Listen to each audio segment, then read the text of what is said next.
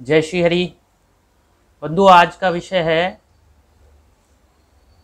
गीता जी के श्रृंखला से द्वितीय अध्याय हमारा चल रहा था। द्वितीय अध्याय के 18 श्लोक संपूर्ण हुए थे 19वें श्लोक से हमें प्रारंभ करना है। आइए देखते हैं, लेके चलते हैं आपको 19वें श्लोक की ओर, क्या कहा गया है।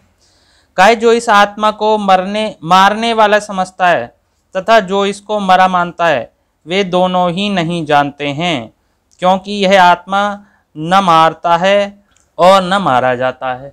जो इसे मरा मानता है, या मारने वाला समझता है, जो इसे मरा मानता है कि मर गया, या मारने वाला समझता है, वो दोनों ही नहीं जानते, क्योंकि आत्मा न मारता है, न मरता है। तो आत्मा मरता तो है नहीं, और मारता भी आत्मा नहीं है, शरीर मारता है। अगर तुम संसार की दृष्टि से ही देखना चाहते हो अर्जुन तो वास्तव में तुम तो किसी को मारते ही नहीं। ये तो आत्मा मारता है। ये बात क्यों समझाई? ये बात इसलिए समझाई क्योंकि अर्जुन इसलिए मोहग्रस्त था कि ये मर जाएँगे मेरे पितामह आदि। तो भगवान ने बताया कि ये आत्मा ना किसी को मारता है, ना मरता है। और मेरे को वध का पाप लगेगा। पहली बात तो ये कि ये पहली बात तो मारता नहीं है। पहली बात तो मरता नहीं है। तो इसलिए किस बात का, किसकी हत्या? और मारता भी नहीं है, शरीर मारता है। बाद में शरीर रूपी धर्म समझाएँगे। अभी तो आत्मा की दृष्टि से समझा रहे हैं, क्योंकि आप लोग सोचने लगेंगे कि भैया, चलो मरता नहीं है, मारता तो है आत्मा। आत्मा नहीं मारता बंधु। आत्मा तो अंदर बैठा है। जब आत्मा इस शरीर से संलग्न होता है, तभी कोई क्रिया होती है पाप आदि की। आत्मा खाली क्या क्रिया? आत्मा की खाली की कोई क्रिया नहीं। आत्मा तो मुक्त है सदैव, स्वच्छ है, निर्मल है। उसमें कोई विकार नहीं है, दुख आदि नहीं है। जब इससे देह से जुड़ जाता है, तब उसमें ये विकार उत्पन्न होते हैं। तो इसलिए देह मारती, आत्मा नहीं मारता। अब इसमें इस कौन वाली गीता जी ने अपना क्या जोड़ा, ये दिखाते हैं। बहुत अद्भुत, अच्छी बात जोड़ी है उन्होंने, अच्छी बात जोड़ी है। हम कहेंगे, अच्छी बात जोड़ी है। लेकिन पहले सुनिए उनकी अच्छी बात क्या है। तो इन्होंने कहा है, ये देखो उन्नीसवां श्लोक। पहले इसका श्लोक बता देता हूँ, ये श्लोक क्या है उन्नीसवां? तो उन्नीसवां श्लोक जो है, वो है आपका प्रसिद्ध श्लोक हैं ये सब। य एनम वेत्ति हंतारम यश्चैनम मन्यते हतम उभव तो न विजानी तो नायम हंति न हन्यते। नायम हंति न मरता है, न हन्यते, न मारता है। हन्यते माने वध करना, मारा जाता है। तो हंति तो न मारता है और हन्यते न मारा जाता है। इस कौन वाली गीता ने देखिए क्या बात कही। अद्भुत बात है, हमें भी पसंद आई। लेकिन इसकी बाद में बताएँगे कि आप लोगों को कैसे समझाने का प्रयत्न करते हैं। जब देहधारी जीव को किसी घातक हथियार से आघात पहुँचाया जाता है तो यह समझ लेना चाहिए कि शरीर के भीतर का जीवात्मा मरा नहीं। ठीक है? आत्मा इतना सूक्ष्म है कि इसे किसी प्रकार के भौतिक हथियार से मार पाना असंभव है, जैसा कि अगले श्लोकों में स्पष्ट हो जाएगा। बिल्कुल अच्छी बात। न ही जीवात्मा अपने आध्यात्मिक स्वरूप के कारण वध्य है। जिसे मारा जाता है या जिसे मरा हुआ समझा जाता है, वह केवल शरीर होता है। बहुत बढ़िया बात है। शरीर ही तो मारा जाता है या मरा समझा जाता है। किंतु इसका तात्पर्य शरीर के वध को प्रोत्साहित करना नहीं है। ये बहुत बढ़िया बात बोली। भाई, आत्मा के द्वारा ना मारा जाता है, ना आत्मा मरता है। लेकिन इसका अर्थ ये नहीं कि तुम सबको मारोगे, कि भगवान ने अर्जुन अर्जुन को कह दिया कि नहीं, आत्मा कहाँ मरता है? तो तुम जितने भी ये दुराचरण करने वाले हो, ये जितने भी हत्या करने वाले हो वध आदि करने वाले हो, गैंगस्टर हो या कोई और हो, डाकू, डकैत आदि कोई भी हत्यारे हों, वो ये ना सोच लें कि आत्मा तो मरता नहीं और ना आत्मा मारता है तो मैंने थोड़ी मारा भैया। तो इसलिए तुम सब मार काट मचा दो सारे में। ये अर्थ नहीं है भगवान का। तो ये बहुत बढ़िया बात इन्होंने बताई। वैदिक आदेश है माँ हिंसात सर्वभूतानी। किसी भी जीव की हिंसा न करो। न ही जीवात्मा अवध्य है, का अर्थ यह है कि पशु हिंसा को प्रोत्साहन दिया जाए। किसी भी जीव के शरीर की अनधिकार हत्या करना निंद्य है और राज्य तथा भगवत विद्वान के द्वारा दंडनीय है। जब आपको अधिकार नहीं है तो आप हत्या नहीं कर सकते। कैसा अधिकार? आज के समय में पुलिस आदि को अधिकार है, उस समय में क्षत्रिय को अधिकार था हत्या करने का। और लोगों की को भी था अपनी जान बचाने के लिए, आज भी है अपनी जान बचाने के लिए, अपनी रक्षा करने के लिए अधिकार है, दूसरों का वध करने का। किंतु अर्जुन को तो धर्म के नियम अनुसार मारने के लिए नियुक्त किया जा रहा था, किसी पागलपन वश नहीं, उसको तो नियुक्ति किया गया था। युद्ध हो रहा था, धर्म युद्ध। अब यहाँ इन्होंने कह तो दिया, किसी भी जीव की हिंसा ना करो हिंसात सर्वाभूतानी। किसी भी जीव की हिंसा ना करो। बहुत अच्छी बात कही इन्होंने। और आगे, जब क्षत्रिय के लिए आई है, ये श्लोक मैं बता देता हूँ अभी से। इन्होंने इकतीसवें श्लोक में कहा है, सही हिंदी में बता देता हूँ। क्षत्रिय होने के नाते अपने विशिष्ट धर्म का विचार करते हुए तुम्हें जानना चाहिए कि धर्म के लिए युद्ध करने से बढ़कर तुम्हारे लिए अन्य कोई कार्य नहीं है, अतः तुम्हें संकोच करने की आवश्यकता नहीं है। तो क्षत्रिय होने के नाते गिना दिए यहाँ। तो युद्ध से बढ़कर तुम्हारे लिए कोई कार्य नहीं है, ये बता दिया। फिर धार्मिक संगीताओं का इन्होंने एक श्लोक दे दिया। उसमें कहा है, धर्म के लिए युद्ध भूमि में वध करना तथा याज्ञिक अग्नि के लिए पशुओं का वध करना हिंसा कार्य नहीं माना जाता, क्योंकि इसमें निहित धर्म के कारण प्रत्येक व्यक्ति को लाभ पहुँचता है और यज्ञ में बलि दिए गए पशु को एक स्वरूप से दूसरे में बिना विकास प्रक्रिया के ही तुरंत मनुष्य का शरीर प्राप्त हो जाता है। इसी प्रकार युद्ध भूमि में मारे गए क्षत्रिय यज्ञ संपन्न करने वाले ब्राह्मणों को प्राप्त होने वाले स्वर्गलोक में जाते हैं। तो ब्राह्मण द्वारा जो वध होता है, पशु हिंसा होती है, क्षत्रिय के कहने पर, यजमानों के कहने पर, उससे लोक में तो हित होता ही है, पर लोक में भी हित होता है, ये स्वयं स्वीकार कर रहे हैं। इन्होंने उसका उदाहरण दिया है। तो स्वाभाविक है, उदाहरण दिया है तो स्वीकार कर रहे हैं। और इधर कह रहे हैं कि भैया, हिंसा मत करो। हिंसा मत करो बिल्कुल भी। मैं भी इसी पक्ष में हूँ। मैं भी इसी पक्ष में हूँ। हमारे द्वारा भी, मेरे द्वारा भी कभी किसी की ऐसी हिंसा नहीं होती। यज्ञ आदि में पशु हिंसा के हम भी समर्थन में नहीं है। जिस काल में वो था, मैं पहले भी बता चुका हूँ, कलयुग में वो वर्ज्य है। ना ऐसे मंत्र उपलब्ध है, ना ऐसे ब्राह्मण जो उस मंत्र उसे उसे कष्ट ना होने दे और उसे स्वर्गलोक में भेज दें। हों, हो भी तो हमारे सम्मुख नहीं और ऐसी सामग्रियाँ कहाँ से लाओगे? सब लोग अपवित्र हैं। शिखा सूत्रहीन है। मैं भी इसी विचारधारा का हूँ। इन्होंने भी बहुत अच्छी बात कही। अहिंसात्मक है। इस कौन भी इस विचार में? इस विचार में क्या वैसे भी सात्विक है, मुझे ऐसा लगता है। लेकिन लेकिन, तुमने जिस, जिन श्लोकों का तुम हवाला दे रहे हो, संदर्भ दे रहे हो, रेफरेंस दे रहे हो और एक और कह रहे हो कि हिंसा नहीं करनी चाहिए। ये बात, या तो तुम्हें पूर्ण हिंसा के जिस हिसाब से तुम्हारी विचारधारा है, उसके अनुसार तो तुम्हें पूर्ण अहिंसात्मक होना चाहिए। यज्ञ में हो, इसमें, उसमें तुमने तुमने तो धज्जियाँ उड़ा रखी हैं शास्त्रों की। कैसे? कि तुम अभी आगे कहने लगोगे? अभी यहाँ तुमने कह दिया कि क्षत्रिय को युद्ध क्षत्रिय के लिए युद्ध कर्तव्य है। तो अर्जुन के लिए युद्ध कर्तव्य हो गया था। तो भैया अर्जुन ने पहले ये भी तो कह दिया था, इसी द्वितीय अध्याय में, इसी द्वितीय अध्याय में कह दिया था पाँचवें श्लोक में कि इसलिए इन महानुभाव गुरुजनों को न मारकर इस श्लोक में भिक्षा का अन्न भी भोगना कल्याणकारक समझता हूँ। भिक्षा का अन्न भोगना कल्याणकारक समझता हूँ, भीख मांग के खा लेंगे ब्राह्मणों की भांति। कौन खाता है भीख मांग के? किसे अधिकार है? ब्राह्मणों को।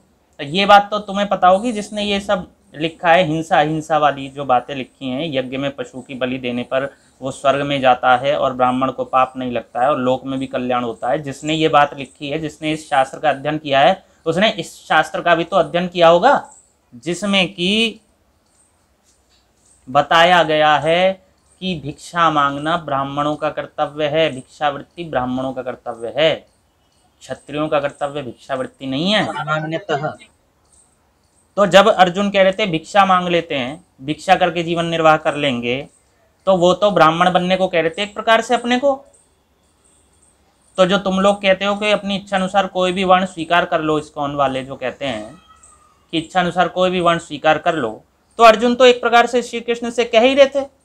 तब उन्होंने क्या कहा है आगे? कि क्षत्रिय के लिए युद्ध करना कल्याणकारी है और ये तो तुम्हें सौभाग्य मिला है युद्ध करने का।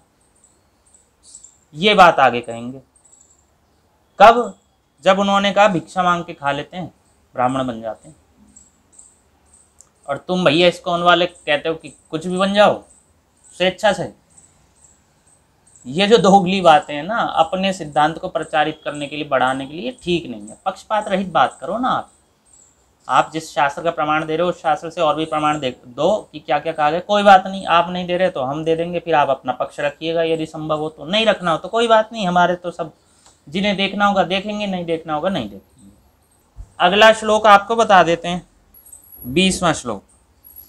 यह आत्मा किसी काल में भी ना जन्मता है और ना मरता है, अथवा ना यह आत्मा होकर के फिर होने वाला है, क्योंकि यह अजन्मा, नित्य, शाश्वत और पुरातन है शरीर के नाश होने पर भी यह नाश नहीं होता, इसका नाश नहीं होता शरीर के नाश होने पर भी। बीसवें श्लोक में कहा गया है, बहुत, ये भी प्रसिद्ध श्लोक है, इसमें प्रसिद्ध क्या है? ये वाक्य बहुत प्रसिद्ध है, न हन्यते हन्य माने शरीरे, मारे, शरीर के मारे जाने पर भी नहीं मारा जाता, मारे जाने पर भी नहीं मारा जाता, न हन्यते हन्य माने शरीरे। शरीर के मारे जाने पर भी, इस शरीर को मार दो, फिर भी नहीं मारा जाता। पूरा श्लोक तो आपको पता, आपको बता देते हैं, वैसे आप कहीं भी देख सकते हैं। न जायते म्रियते व कदाचिन नायम भूतवा भविता, व न भूय, अजो नित्य शाश्वतो अयम पुराणो न हन्यते हन्य माने शरीरे। ये कहा गया है। समझ लेते हैं इस श्लोक को एक बार। तो भैया, ये आत्मा किसी काल में भी जन्मता नहीं है। किसी काल में भी न जन्मता है, न मरता है। जन्म नहीं लेता आत्मा। कि आत्मा का जन्म हो गया? और मरता भी नहीं है। ना जन्मता है, ना मरता है। तो क्या करता है? शाश्वत है, भगवान का स्वरूप है, भगवान का एक भाग है। मरेगा क्यों? अथवा ना यह आत्मा हो करके फिर होने वाला है। हो गया और फिर दोबारा हो गया। ऐसा नहीं है। शरीर की बात ही हो गया, समाप्त हो गया, फिर दोबारा। ऐसा भी नहीं है आत्मा। क्योंकि ये अजन्मा है, इसका जन्म नहीं होता। नित्य है, हर समय रहता है। ऐसा कोई समय नहीं है कि ये ना रहता हो। शाश्वत है। जब से भगवान है, तब से ही ये आत्मा है। तुम तभी से हो जब से भगवान है। तुम भी भगवान की तरह सनातन हो, शाश्वत हो। सनातन धर्म की भांति सनातन हो, शाश्वत हो। और पुरातन है। पुरातन सबसे प्राचीन है। शरीर के नाश होने पर भी यह नाश नहीं होता। शरीर का नाश हो जाएगा, फिर भी नहीं मरेगा। तभी तो कहते हैं वो चले गए। कोई मरता है, अमुक चले गए। अमुक चले गए, अमुक तो वो पड़े। चिता पर पड़े कहाँ चले गए? चिता पर, अरे चिता पर तो शरीर पड़ा है उनका। देखो, इतना कहने पर भी मनुष्य समझ नहीं पाता कि पुरातन काल से चला रहा है ये कहना कि वो चले गए। वो तो भैया भैया जी, वो तो पड़े हैं वहाँ पर। अरे भैया, वो तो पड़े हैं, वो कहाँ चले गए? इससे समझ आता है कि ये पुरातन है। क्या? कि वो जो गए हैं, वो आत्मा थे और अभी जो पड़े हैं, उनका शरीर है। आगे, हे प्रथापुत्र अर्जुन, जो पुरुष इस आत्मा को नाश रहित नित्य, अजन्मा और अव्यय जानता है, वह पुरुष कैसे किसको मरवाता है और कैसे किसको मारता है? अब जो भी पुरुष इसे नाश रहित समझता है कि इसका नाश नहीं होता, ये नित्य है, अजन्मा है, जन्म नहीं होता, अव्यय है, इसका क्षय नहीं होता, खर्च नहीं होता। वह पुरुष कैसे किसको मरवाता और कैसे किसको मारता है? शरीर में तो शरीर तो प्राण है नहीं। चेतनता तो शरीर है नहीं। क्यों नहीं? क्यों जब इसमें से हम निकल जाते हैं तो ऐसे ही पड़ा रहता है उठता ही नहीं है अपने आप से। अपने आप से उठना चाहिए ना। यदि शरीर में चेतनता हो तो अपने आप से उठना चाहिए। तो मतलब चेतनता जिसमें थी वो तो चला गया। तो मार और चेतनता को हम मार नहीं सकते। बस हमने एक ऐसा आघात किया कि वो आत्मा इस शरीर को छोड़ के चला गया, हटा। हम जा रहे हैं। तो जो व्यक्ति ये जान लेता है, वो कैसे किसको मारता है और कैसे किसको मरवाता है? ये जान लेता है और इसमें जीता है। और ये बात ध्यान रखने योग्य है कि जो ये जानता है कि मैं आत्मा को नहीं मार सकता। आत्मा अवध्य है और ना आत्मा द्वारा किसी को मारा जा सकता है। वो यह भी जानता है कि जो मेरी आत्मा है, वही सामने वाले की आत्मा है, इसलिए अनावश्यक कष्ट किसी को देता ही नहीं है। इस चक्कर में पड़ता ही नहीं है। इसलिए कैसे किसी को मारता और कैसे मरवाता? जब वो भली भांति जानता है कि जो मैं हूँ, वही वो है, मैं उसे कैसे कष्ट दे दूँ? तो कष्ट नहीं दे सकता और नाश होगा नहीं। नाश होगा तो इस शरीर का होगा। आगे, और यदि तू कहे कि मैं तो शरीरों के वियोग का शोक करता हूँ तो यह भी उचित नहीं है, क्योंकि जैसे मनुष्य पुराने वस्त्रों को त्याग कर दूसरे नए वस्त्रों को ग्रहण करता है, वैसे ही जीवात्मा पुराने शरीरों को त्याग कर दूसरे नए शरीरों को प्राप्त होता है। और यदि तू कहे कि ठीक है, शरीर की आत्मा तो नहीं मरता, कोई बात नहीं, मुझे आत्मा से प्रेम नहीं है, मुझे तो इस शरीर से प्रेम है, ये जो ऐसी नाक की बनावट है, ये जो ऐसी आँखों की बनावट है, ये सब जो मुँह, ये सब जो ओष्ठों की बनावट है, छाती, कंधा, ये ये मुझे प्रिय हैं। मुझे तो ये देखने का अभ्यास हो गया है। तो भी भगवान कह रहे हैं कि अगर इनके वियोग का ही, इनसे तो दूर जाता है, इसलिए शोक करता है तो भी उचित नहीं है, क्योंकि मनुष्य जैसे पुराने वस्त्रों को त्याग कर नवीन वस्त्र धारण करता है। वैसे ही जीवात्मा पुराने शरीर को त्याग कर नया शरीर धारण कर लेता है। कोई घर में तुम्हारे पुराना वस्त्र हो गया, वो जीर्ण शीर्ण हो गया, वो उठा के फेंक देते हो, नहीं फेंक देते हो? या सिल सिल के उसे पहनते रहते हो? कब तक पहनोगे? एक सीमा होती है ना उसकी। सिलने की एक सीमा होती है। भले ही आजकल के युग में फटे पुराने कपड़े आ गए हों, चिथड़े उड़े हुए पहनने वाले, लेकिन उसकी भी एक सीमा होती है। उसे पहनने की भी एक सीमा होती है। वो उतार के कोई नया कपड़ा लाता है नया वस्त्र लाता है आपके जन्मदिन का अवसर हो आपके कोई और अन्य उत्सव हो विवाह आदि उत्सव हो कोई भी उत्सव हो नए कपड़े आते हैं आप भी प्रसन्न होते हैं जो पहनता है वो भी प्रसन्न होता है। आप जिसके लिए लाते हैं आप उसके लिए प्रसन्न होते हैं और वो भी प्रसन्न होता है। मुझे नए वस्त्र में पहन लेता पुरा, पुराने उतार कर अच्छा लगता है उसे। या रोता है मेरे पुराने वस्त्र चले गए अब मैं क्या करूँगा? रोता बैठ के नहीं। ऐसे ही ज्ञानी पुरुष क्यों नहीं रोता? वो जानता है वस्त्रों का क्या होना है।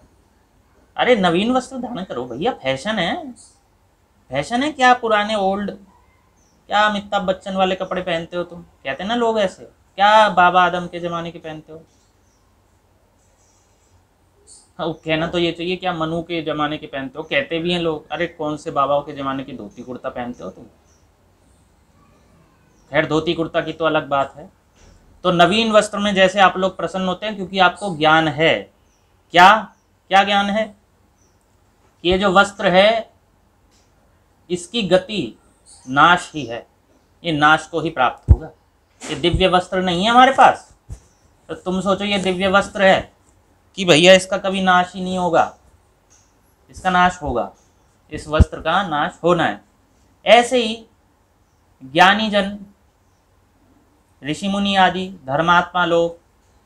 भक्त लोग ये जानते हैं, भैया, ये शरीर तो मर जाएगा। ये शरीर तो वस्त्र की भांति है। इसे निकाल देंगे, इसमें से निकल जाएँगे, दूसरा वस्त्र धारण कर लेंगे। तो जब जीवात्मा दूसरे शरीरों का धारण करता है तो भैया, ये तुम्हारे जो पिता में खड़े हैं, ये दूसरे शरीरों को धारण नहीं करेंगे क्या? ये भी दूसरे को, शरीर को धारण करेंगे? तो इसलिए शोक मत करो कि तुम शोक कर लो, बूढ़े हैं, गुरुजन हैं। अरे दूसरे शरीर को धारण करेंगे, क्या पता तुम गुरुजन बन जाओ इनके अगले जन्म में। जिस शरीर के को धारण करेंगे, उस शरीर के तुम गुरुजन हो अगले जन्म में, क्या पता। इसलिए तो भी शोक करना उचित नहीं है। हे अर्जुन, इस आत्मा को शस्त्र आदि नहीं काट सकते हैं, और इसको अच्छा ये जो श्लोक है, बाईसवा, ये भी बहुत प्रसिद्ध श्लोक है।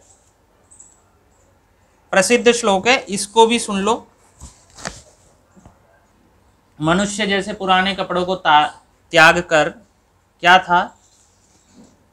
क्योंकि जैसे मनुष्य पुराने वस्त्रों को त्याग कर, दूसरे नवीन वस्त्रों को ग्रहण करता है, वैसे ही जीवात्मा पुराने शरीरों को त्याग कर, दूसरे नए शरीरों को प्राप्त करता है। इसका संस्कृत का श्लोक सुनो, आपको याद आएगा, लगभग सभी लोगों को याद आना चाहिए। वासांसी जीर्णानि यथा विहाय, नवानि गृहणाति नरो अप्राणी, तथा शरीराणी विहाय। जीर्णान्यान जीर्णान्यन्यानि संयाति नवानि देही। पुराने वस्त्रों को त्याग कर जैसे नवीन वस्त्र धारण करता है, ऐसे ही आत्मा, जीवात्मा पुराने शरीर को त्याग कर नया शरीर धारण करती है। ये एक चलचित्र में आया है, एक मूवी में आया है ये श्लोक। आपको याद होगा, संघर्ष मूवी आई थी। आप कहेंगे, आपको कैसे पता? भैया, बचपन में तो हम भी देख लिया करते थे। और अच्छी बात है, अगर किसी भी चलचित्र में से कोई अच्छी चीज़ ढूंढो। खैर, अब तो हमने छोड़ दिया ये सब। तो नाम लेना उचित नहीं लग रहा, लेकिन वो श्लोक बोला है, गीता जी का महिमा है, वो श्लोक बोला है तो उन सब का नाम आना चाहिए, बढ़िया है। अक्षय कुमार की एक मूवी थी, एक चलचित्र थी संभवतः नाम था संघर्ष जिसमें आशुतोष राणा भी था।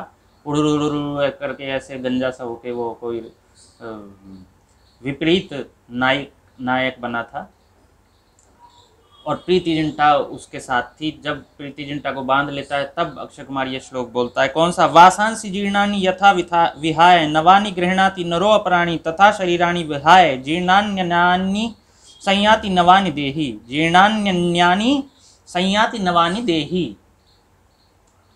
तो प्रसिद्ध श्लोक था, इसलिए हमने आपको बताया।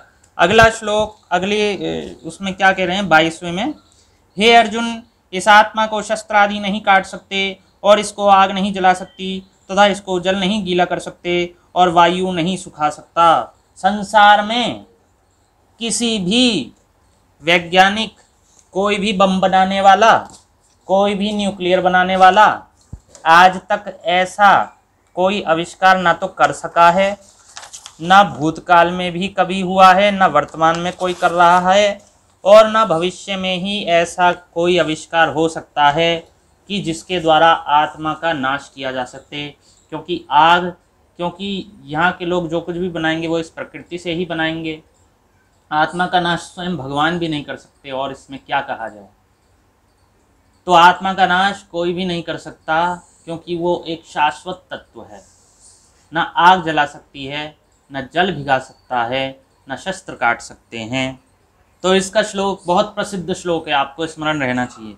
नैनम छिंदंति शस्त्राणी नैनम दहति पावक, न चैनम क्लेदयंत्यापो न शोषयति मारुत।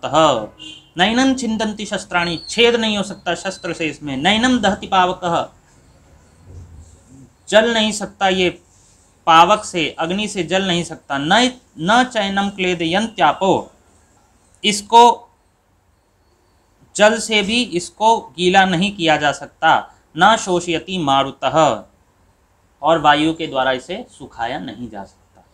अगला श्लोक।